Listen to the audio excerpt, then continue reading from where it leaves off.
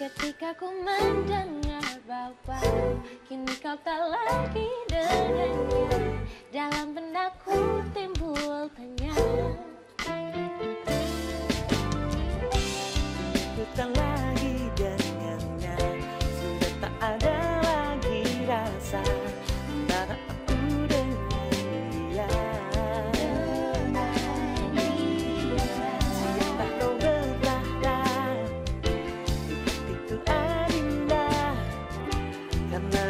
perasaan